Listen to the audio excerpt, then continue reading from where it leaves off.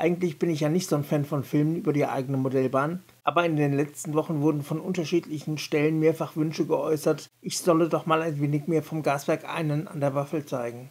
In meinen Augen ist das Zeug nicht mal annähernd fertig, aber wer unbedingt will, der kann ja mal einen Blick riskieren. Neben einem genaueren Blick auf den Stand der Dinge gebe ich auch Einblick in einige meiner Arbeitstechniken. Wer sich für dieses oder jenes Thema nicht interessiert, findet in der Videobeschreibung eine anklickbare Inhaltsübersicht. Mit ihr lassen sich Themen leicht überspringen. Aber wie immer gilt, glaubt nicht alles, was ich sage und macht euch eure eigenen Gedanken. Gleich zu Anfang des Films der Hinweis, über Likes und Kommentare freue ich mich ebenso wie über ein Abo. Wer nach dem Abonnieren das Glöckchen klickt, wird über neue Filme von mir automatisch informiert. Nach dem Intro geht's los.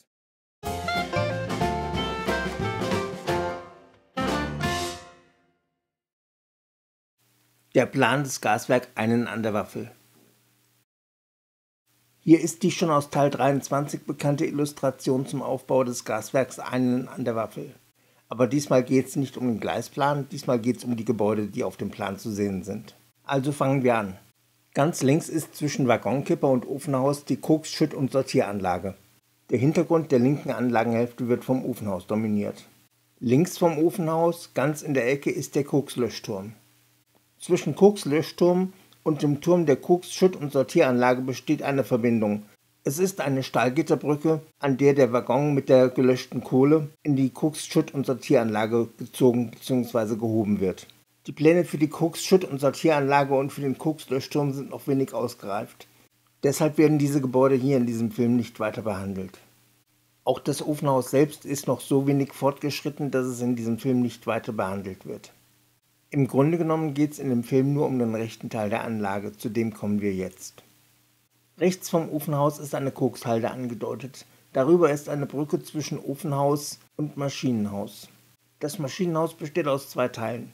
Der rechte Teil des Maschinenhauses lehnt sich an den Teerturm an. Letzterer sitzt genau hinten rechts in der Anlagenecke. An der rechten Stirnseite des Schaukastens sitzt das Labor. Über eine Durchfahrt im Gebäude wird der Schattenbahnhof erreicht. Er sitzt also rechts außerhalb des Schaukastens. Zwischen Teerturm und Labor befindet sich außerdem ein kleines Vordach. Einen besonderen Zweck hat es nicht, da war halt einfach noch eine Lücke zu füllen. Das Labor des Gaswerks. Das Gaswerkslabor war das erste Gebäude, das ich in Spur 0 gebaut habe.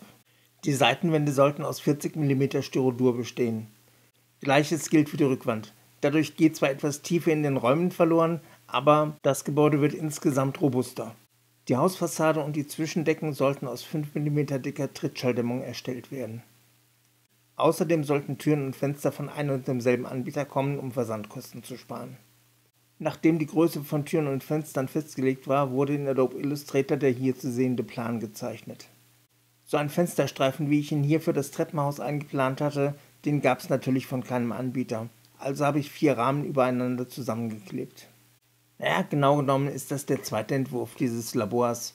Der erste Entwurf, von dem hier ein Papiermodell zu sehen ist, der kam mir doch etwas langweilig vor. Solche Papiermodelle sind zwar nicht besonders schön und sie sind auch ein bisschen aufwendig zu bauen, aber sie helfen doch, die Proportionen abzuschätzen und Planungsfehler zu entdecken. Wenn man ausgehend von Papiermodell und Plan mal auf das fertige Modell guckt, sieht man, dass ich mich doch nicht so richtig an meinen Plan gehalten habe, aber irgendwas ist ja immer. Was auf jeden Fall auffällt, Fensterbänke. Das Labor braucht unbedingt Fensterbänke. Aber kümmern wir uns erstmal um den Aufbau des Gebäudes. Um den zu sehen, zerlegen wir das Labor am besten. Ei Gude, wollen wir das Ding platt machen oder wie? Die Zerlegung. Als erstes wird das Dach abgenommen. Es besteht aus Wellpappe als Trägermaterial für 400er Schleifpapier. Die kleine Treppe vor dem Eingang des Labors fixiert die Front des Gebäudes. Sie muss also weggenommen werden, wenn man das Gebäude zerlegen will. Um mit der Zerlegung fortzufahren, muss das Gebäude erstmal aus seiner Baugrube heraus. Jetzt müssen Fassade und Innenleben aus der Umklammerung der 40 mm Styrodurplatten entfernt werden. Das ist stellenweise ein bisschen fummelig, aber mit einem gewissen Nachdruck geht's dann doch. Ein Laborraum wurde probehalber ein wenig eingerichtet, diese Einrichtung muss natürlich jetzt erstmal raus. Und da kommt auch gleich die ganze Etage mit Treppe und Labortisch. Wie man sieht, besteht besagter Labortisch im Wesentlichen aus Styrodurresten und einem Stück Pappe.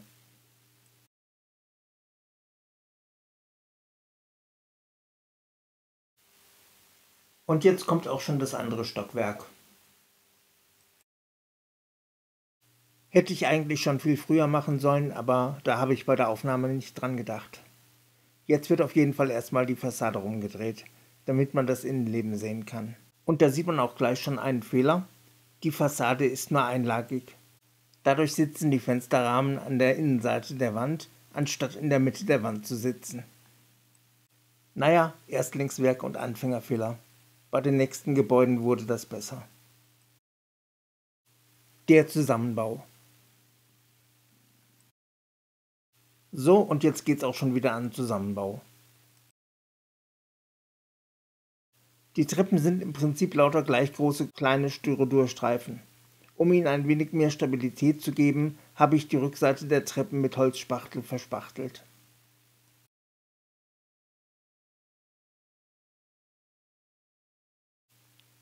Das Zusammensetzen des Gebäudes ist ein wenig fummelig, aber es ist auch für Grobmotoriker wie mich machbar.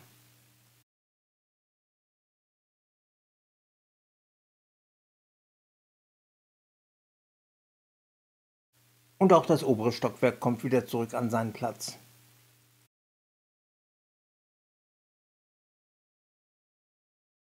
Der Treppenabgang des oberen Stockwerks hat den falschen Winkel, aber das fällt im zusammengebauten Zustand nicht auf.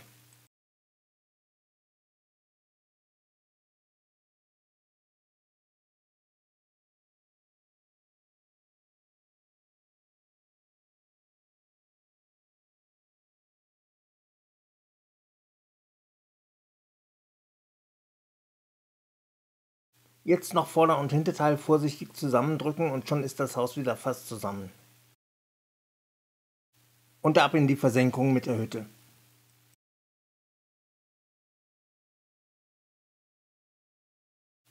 Jetzt noch Kleinteile in die Position bringen und Dach drauf und dann steht das Ding wieder da wie vorher.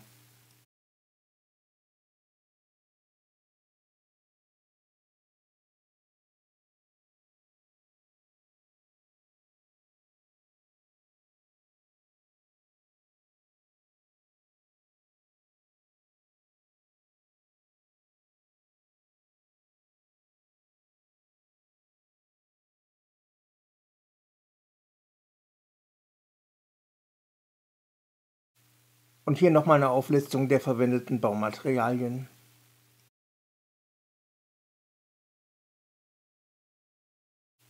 Das Vordach. Das kleine Vordach war eigentlich ein Experiment. Lässt sich die Baulücke für weniger als 2 Euro füllen. Ein paar mittelgroße Streichhölzer, ein bisschen Depron, etwas Beize und 400er Schleifpapier. Das war's. Mehr braucht man nicht dafür. Obwohl ein paar Tropfen Weißleim und ein bisschen Fantasie sind auch sehr hilfreich. Insgesamt ist das Konstrukt relativ fragil, man sollte es also nicht zu oft bewegen. Aber als Unterschlupf für Spinnen ist es scheinbar ausreichend stabil.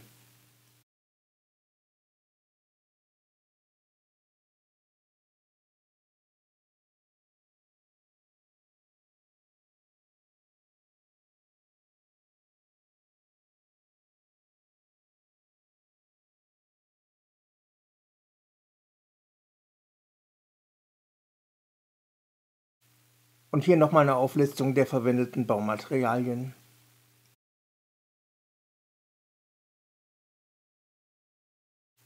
Der Teerturm.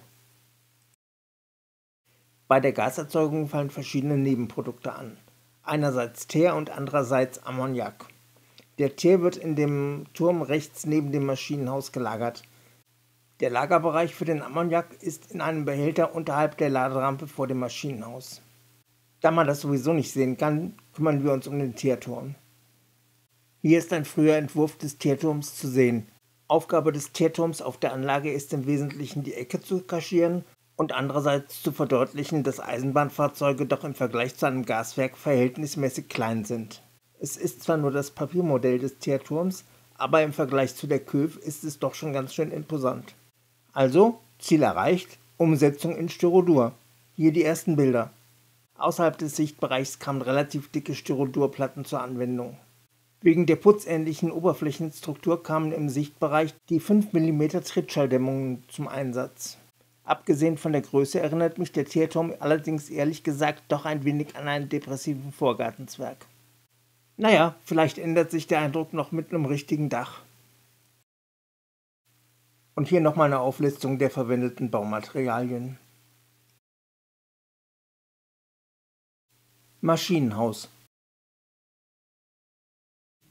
Der hohe Teil des Maschinenhauses schließt sich direkt an den Tierturm an.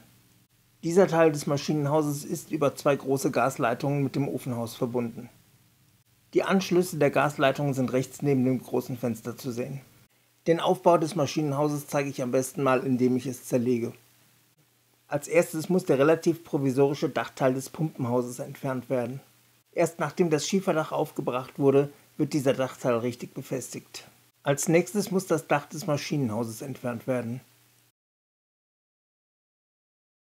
Erst dann kann die Fassade des Pumpenhauses entfernt werden. Nun ist die Fassade des eigentlichen Maschinenhauses dran. Was jetzt noch steht, sind Bodenplatte und tragende Wände des Maschinenhauses. Beides ist aus 40 mm Styrodur gefertigt.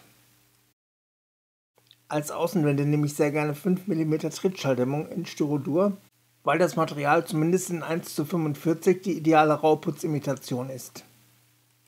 Womit ich nicht ganz zufrieden bin, das sind die Backsteinmauervorsprünge. Die Backsteinstrukturen sind zwar im Prinzip eigentlich ganz okay, aber der Farbauftrag ist irgendwie missraten. Beim Granieren hatte ich halt die Farbe gestrichen, weil ich damals noch nicht die Technik kannte, raue Strukturen per Tupfen mit dem Borstenpinsel aufzutragen. Das ist zwar bei größeren Flächen wirklich lästig, aber die Last wird wirklich belohnt durch eine wesentlich bessere Optik. Eine weitere Sache, die mir sehr gut gefällt, sind mitten in der Wand sitzende Fenster. Da ich gerne und viel Kaffee trinke, hätte ich die Fenster nie gerade in die Wand gebracht. Also musste ich mir mit einem Trick helfen. Normalerweise ist es nicht ganz einfach, den Fensterrahmen nicht gekippt und nicht verkantet einzubauen. Aber wenn man die Fensterscheibe ein klein wenig größer ausschneidet als den Rahmen, dann sitzt der Fensterrahmen quasi zwangsweise parallel zur Wand. Und das Schöne, das bekommt man sogar mit einer Überdosis Kaffee hin. An dem Bild kann man übrigens noch was sehen. Wenn man eine bestimmte Fensterform oder Fenstergröße nicht findet, kann man sie auch aus verschiedenen Fenstern zusammensetzen. Die ungewöhnliche Form des Fensters vom Pumpenhaus habe ich aus sechs verschiedenen Fensterrahmen zusammengesetzt. So genug jetzt von der Außenseite der Wand, gucken wir uns mal die Innenseite an. Die sieht man ja sonst eigentlich gar nicht. Aus der Perspektive sieht man auch ganz gut den sandwichartigen Aufbau der Wand. Die Basis dieser Wand bildet die 5 mm Trittschalldämmung aus Styrodur. Davor sitzen 3 mm Depron als Mauervorsprung, der von außen zu sehen ist, und dahinter sitzen 3 mm Depron, welche die Wand hinter dem Fenster fortsetzen sollen. Hier ist übrigens der erste Versuch der eben schon erwähnten Tupftechnik zu sehen. Das Hellbraun wurde noch gestrichen, aber das Dunkelbraun wurde schon getupft. Normalerweise ist das Depron glatt wie ein Kinderpopo, aber durch das Tupfen bekommt es richtig Struktur. Und schon geht's wieder an Zusammenbau. Im Prinzip also gerade dasselbe, nur umgekehrte Reihenfolge. Die eben näher betrachtete Wand kommt wieder an ihren Platz. Dicht darauf folgt die Fassade vom Maschinenhaus.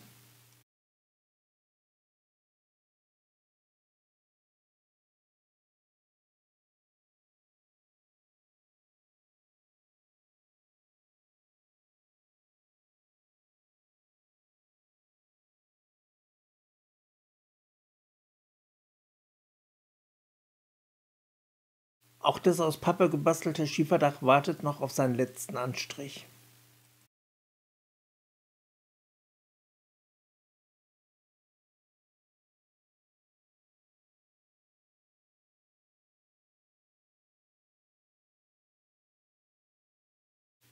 Auch das Pumpenhaus wartet noch auf sein Schieferdach, aber ich habe da sowas von keinen Bock drauf. Ich mache vielleicht doch ein Blechdach drauf.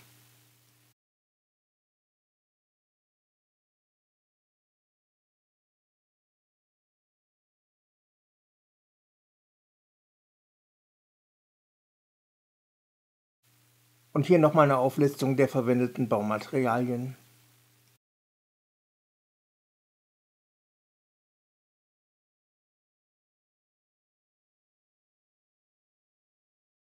So, das war's wieder mal für heute. Was darf's denn sonst noch sein? Aber bitte bleibt realistisch. Das Thema muss innerhalb einer Woche inhaltlich verarbeitbar sein und es muss auf einer Modellbahn darstellbar sein. Und nicht vergessen, bitte bewerten, abonnieren Glöckchen anklicken, meine anderen Videos und die Videobeschreibung beachten.